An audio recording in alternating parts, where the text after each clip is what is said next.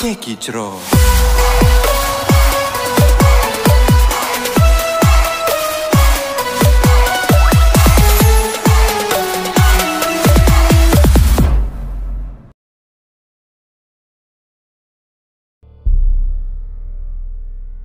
Kisah diawali dengan kerusuhan di kota Baghdad karena ditemukannya sebuah bom di tengah pemukiman di mana prajurit Amerika dari Kesatuan Penjinak pun telah berdatangan ke sana untuk memeriksanya. Namun karena alat yang digunakan mengalami kerusakan maka pemimpin mereka terpaksa harus turun tangan.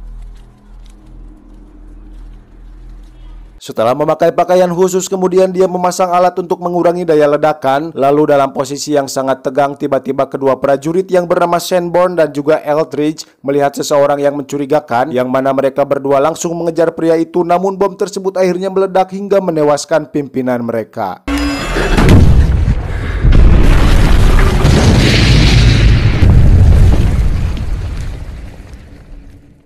Dari kejadian itu akhirnya pusat Amerika mendatangkan William untuk menggantikan pemimpin sebelumnya. Tapi karakter William ini berbeda karena dia merupakan sosok yang lebih berani dan juga bertanggung jawab di mana dia akan melakukan tugas-tugasnya dengan sangat baik demi mendapatkan tunjangan hari raya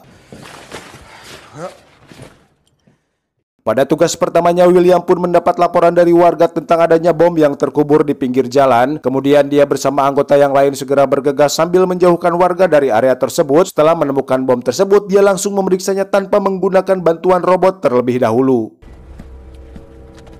Entah apa alasannya di tengah perjalanan itu dia melemparkan bom asap hingga menghalangi jarak pandang timnya. Hal itu membuat semua anggota sangat panik karena tidak bisa menjaganya dari sebuah ancaman hingga akhirnya dia berhasil menemukan bom tersebut dan mencabut beberapa komponen yang terpasang.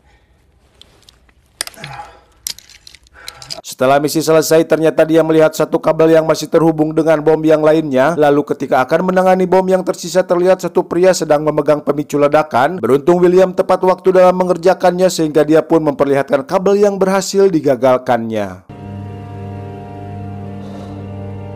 Di saat William kembali berkumpul, semua anggota merasa kesal terhadap perilakunya yang tidak sesuai prosedur, yang mana dia diminta untuk selalu berkomunikasi lewat radio ketika sedang menjalankan misi, tapi William tak menghiraukan nasihat tersebut dan menganggap seolah ini hanyalah pekerjaan yang biasa.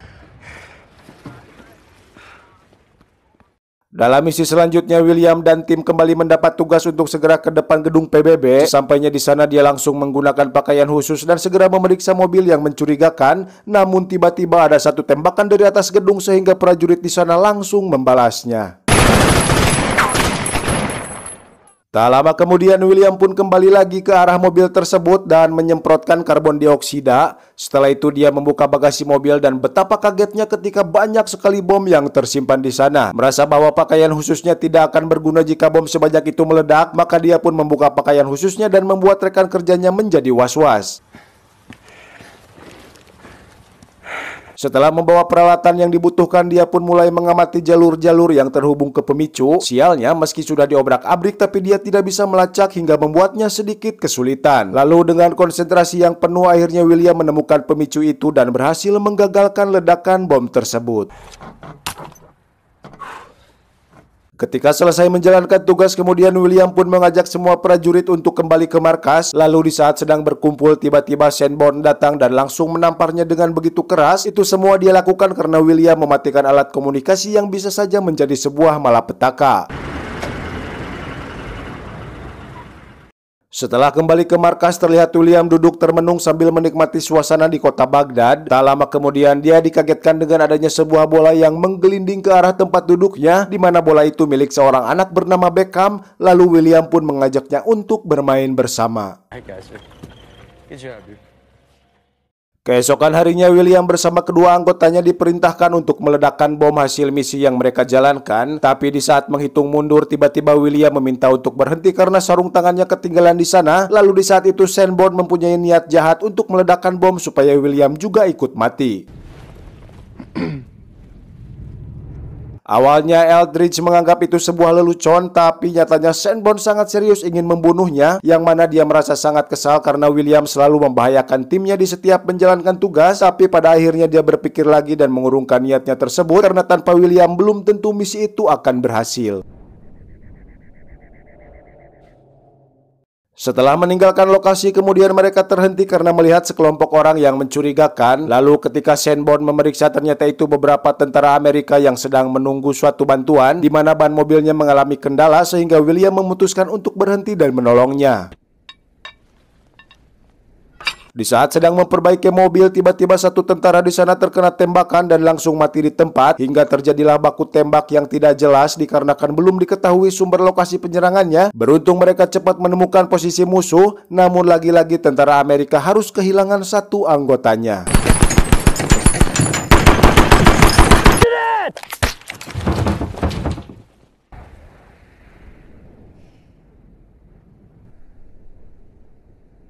Satu demi satu tentara Amerika harus terkena tembakan lagi sehingga Sanborn segera mengambil alih senjata. Dalam situasi yang menegangkan itu, Sanborn yang awalnya membenci William kini jadi mendadak kompak di mana mereka saling bekerja sama dalam pertarungan itu hingga akhirnya berhasil mengalahkan musuh.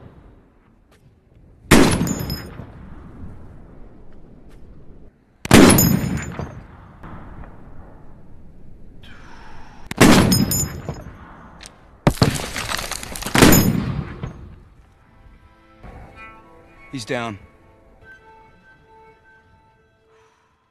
Singkat cerita, mereka pun kembali dan berkumpul untuk melepas lelah setelah seharian menjalankan tugas, di mana mereka menghabiskan waktu bersama sambil minum-minum, bahkan saling menceritakan kisah kehidupan masing-masing. Lalu di saat itu juga mereka yang tadinya renggang kini menjadi lebih solid karena mulai saling mengenal satu sama lain.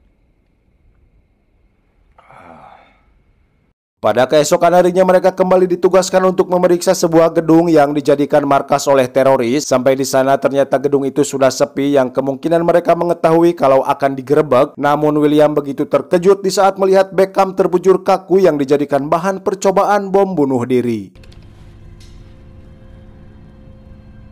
Di sisi lain terlihat sang kolonel mencoba berkomunikasi dengan warga yang menyuruh meninggalkan tempat itu, sementara William akan membawa mayat anak kecil tersebut untuk menguburkannya dengan layak. Tapi di saat semua warga sudah pergi, tiba-tiba sebuah bom meledak tepat di samping sang kolonel hingga membuat dirinya tewas saat itu juga.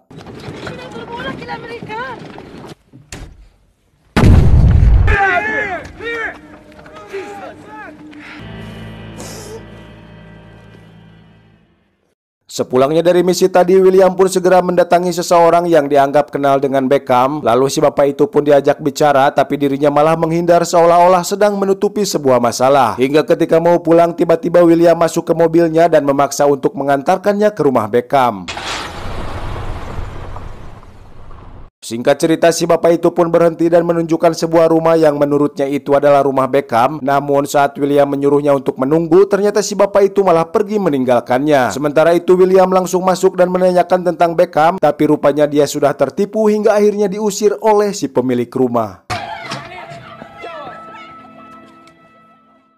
Setelah kembali ke markas, William mendapatkan tugas karena telah terjadi ledakan di dekat rumah warga dengan ditemani Sanborn dan juga Eldridge. Lalu mereka mencari tahu apa penyebab terjadinya insiden itu. Hingga akhirnya William menemukan sebuah lokasi yang diperkirakan sebagai persembunyian bagi para kelompok teroris. Di sana terjadi sedikit perdebatan di antara mereka bertiga, yang mana William bersikeras untuk mengejar pelaku pengeboman, akan tetapi Sanborn menolaknya dan beranggapan bahwa itu bukanlah tugasnya. Namun karena William adalah pemimpin regu mereka, maka mereka pun dipaksa untuk ikut ikut bersamanya.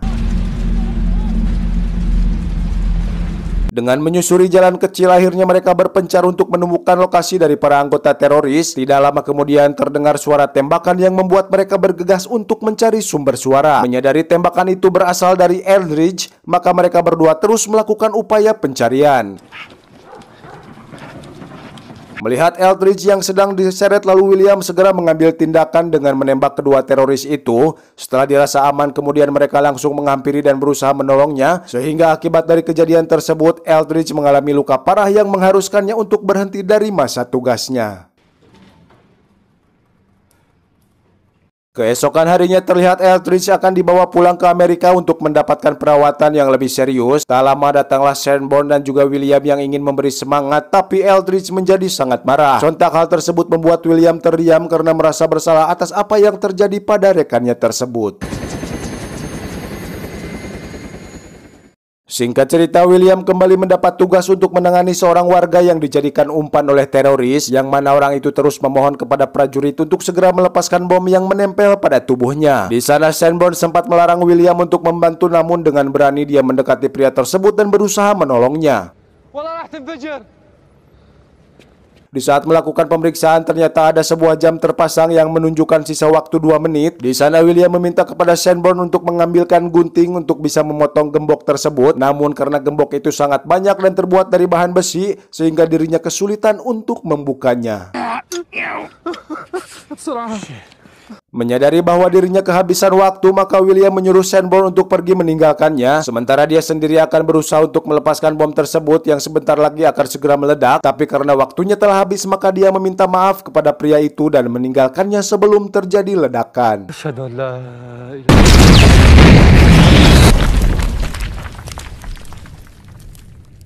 Usai kejadian itu, lantas tugas mereka berdua dianggap selesai dan dipulangkan dengan keadaan selamat. Beberapa saat kemudian dia pun sampai di Amerika dan mampir dulu ke warung untuk membeli oleh-oleh. Akhirnya William pun pulang ke rumah dan bertemu dengan anak istrinya dan menjalankan kehidupan seperti orang biasa pada umumnya.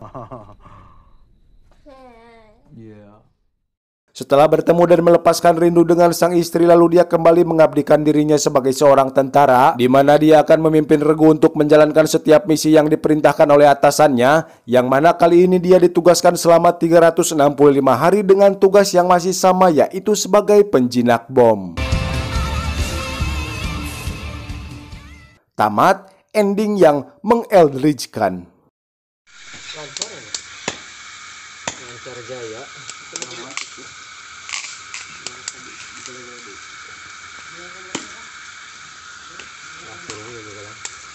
Ah, kaya dahil ka rin. Ano?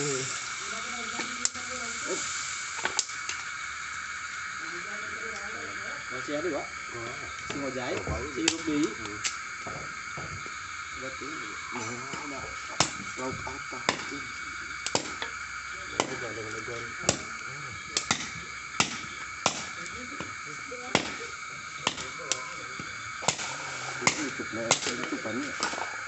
Oh, tutup. Ya panci mo na yan.